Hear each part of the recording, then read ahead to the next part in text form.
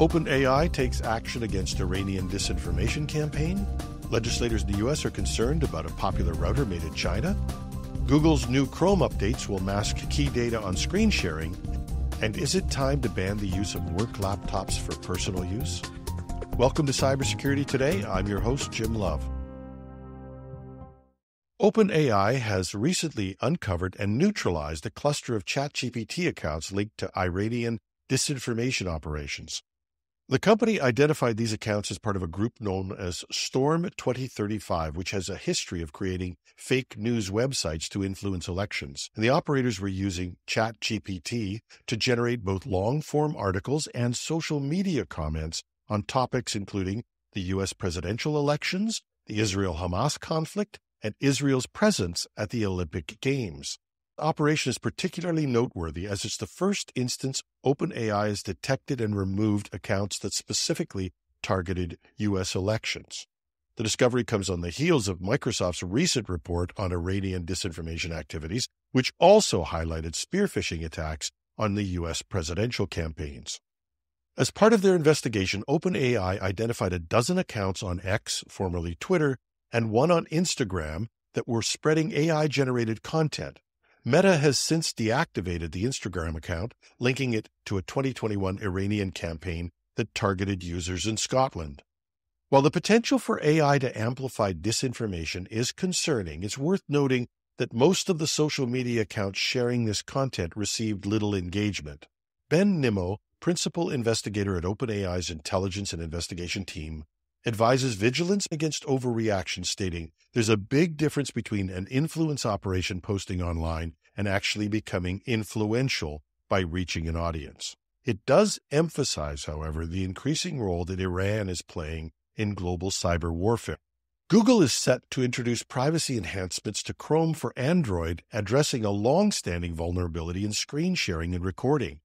Currently, when users share or record their screens on Android devices, sensitive information such as passwords and credit card details can inadvertently be exposed. And this occurs in regular browsing tabs, though incognito mode already prevents screen capture entirely.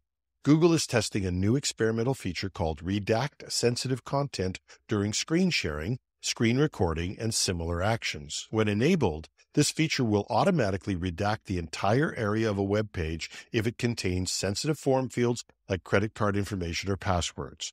It's important to note that this feature will only be available on Android 5 or later versions. While the exact release date for the general public is yet to be announced, tech enthusiasts can expect to see this feature in Chrome Canary, the experimental version of the browser, in the coming weeks. This development underscores Google's ongoing efforts to enhance user privacy and security in an era where screen sharing has become increasingly common for both personal and professional purposes. In addition to this new feature, Chrome for Android is also testing a new option to close all incognito tabs at once, further streamlining privacy management for users. Stay tuned for the official rollout of this feature in future Chrome updates.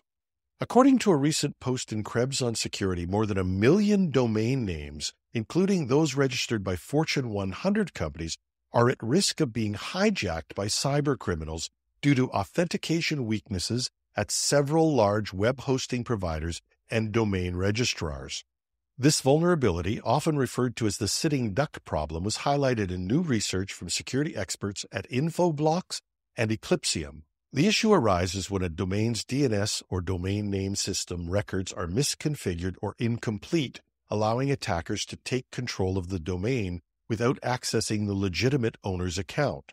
DNS is often referred to as the Internet's phone book, and it translates human friendly website names into the numeric addresses computer uses to locate these websites. But it's possible, and it frequently happens, that domains can be misconfigured so that these lame domains can be exploited to redirect users to malicious websites or to be used in phishing attacks. The problem isn't new. Similar weaknesses were reported by Krebs as far back as 2019, but the new research shows that many hosting and DNS providers still have not addressed the issue. Dave Mitchell, principal threat researcher at Infoblox, emphasized it's easy to exploit, very hard to detect, and it's entirely preventable. The report estimates that at least 30,000 of these vulnerable domains have been hijacked for malicious use since 2019. And for those who have domains under their administration, it may be well worth a thorough read of the original Krebs story and some of the other research on this issue. Links are in the show notes at technewsday.com. Two U.S. lawmakers are raising alarms over potential cybersecurity risks posed by Wi Fi routers from the Chinese company TP Link Technologies. In a letter to Commerce Secretary Gina Raimondo, Representatives John Moolenaar and Raja Krishnamoorthi highlighted what they describe as an unusual degree of vulnerabilities in TP Link routers, urging the Department of Commerce to investigate these risks and consider whether TP Link products should be restricted in the U.S. The lawmakers expressed particular concern over China's stringent data protection laws, which could compel companies like TP Link to share data with the Chinese government. This concern is heightened by recent cyber activities from the Chinese Advanced Persistent Threat Group known as Volt Typhoon, which has been linked to hacking campaigns targeting U.S. critical infrastructure by exploiting home routers. In December 2023, the Justice Department dismantled a botnet linked to Volt Typhoon, which included hundreds of compromised routers from brands like Netgear and Cisco.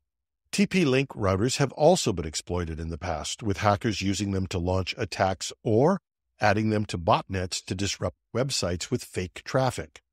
A recent incident in May 2023 saw cyber attacks on European foreign affairs entities attributed to a Chinese state sponsored group known as Camaro Dragon. The group reportedly used a firmware implant in TP Link routers to gain control of the infected devices and access sensitive networks. TP Link claimed it does not sell routers in the U.S. and stated it has undergone a global restructuring with separate entities based in California, Singapore, and China. We found this a little strange as you can easily find TP Link routers by a simple search, and they're often highly rated, at least for home use.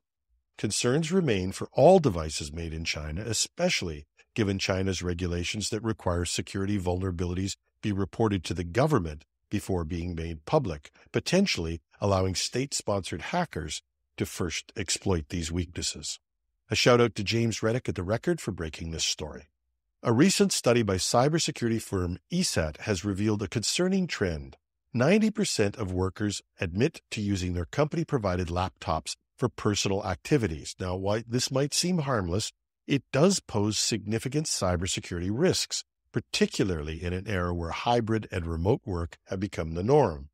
The study highlighted that many employees engage in risky behaviors on their work devices, such as viewing adult content, gambling, even accessing the dark web, and illegally streaming sports.